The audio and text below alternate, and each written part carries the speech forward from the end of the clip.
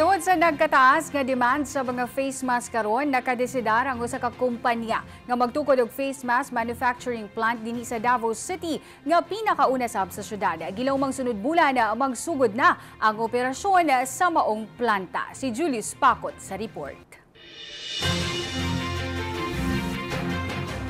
Nangabot na ang mga rolyo sa span bond dinhi sa bodega sa usa ka kumpanya nga usa ka raw material sa paghimo sa face mask. Pinaagi sa mga kumpanya, aduna nay pinakaw ng face mask manufacturing plant sa Davao City kundi muhimo sila og mga KN95 og N88 face mask. Sumala pa sa operations manager sa mga kumpanya, ang mga makina nga ilang pagagamiton magikan sa China nga ginahulat na lang nilang moabot aron masugda na ang ilang operasyon.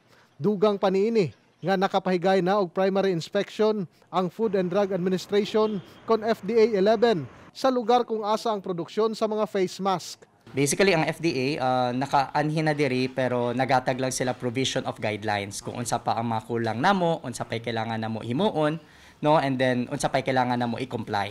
So, basically mo balik pagid sila diri uh, para ihatag na ang katong final endorsement.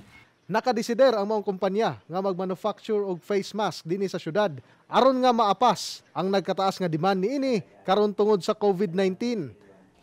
Ano kita karon sa sulod sa stock room sa usa ka kumpanya nga manufacture og mga face mask kung diin kini ang ilang mga raw material kung asa aduna kini kapabilidad nga mobuhat og 11 million ka mga face mask kung ugaling magsugod na sila sa ilang operasyon.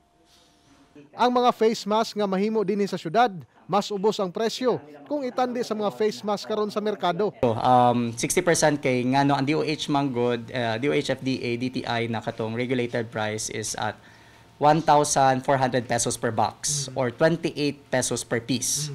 Naarami sa 12 pesos per piece. Kung kamo na magbuhat. Yes, so kung kami na magbuhat dire.